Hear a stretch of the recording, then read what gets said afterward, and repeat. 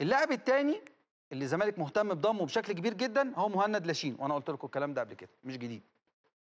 لكن أنا بجيب لك الأسماء اللي على لائحة اهتمام نادي الزمالك هذا الموسم.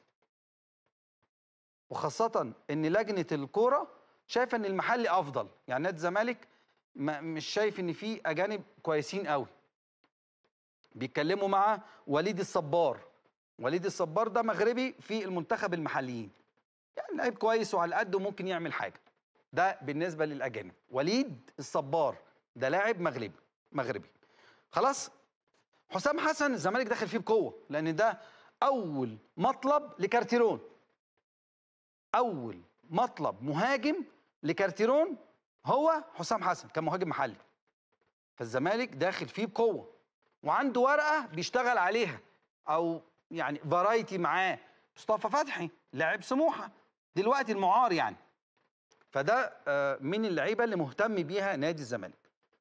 طبعا كريم العراقي في الصورة بشكل كبير جدا جدا جدا وكنا أول ناس اتكلمنا على موضوع كريم العراقي.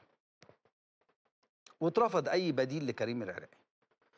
طيب دي من الأسماء المهمة جدا أو بعض الأسماء اللي نادي بخلاف طبعا دونجا لاعب بيراميدز لأن في رغبة من اللاعب وفي رغبة من النادي. الاثنين متوافقين. لكن بيراميدز ففي عندك أيضا آه، آه، يمكن حلول مع نادي الزمالك لطلب بيراميدز لحارس مرمى فالأمور ممكن تبقى متيسرة. لأن نادي الزمالك ورقة حارس المرمى دي ممكن ياخد بيها لعيبة من بيراميدز. الكلام ده بالراحة.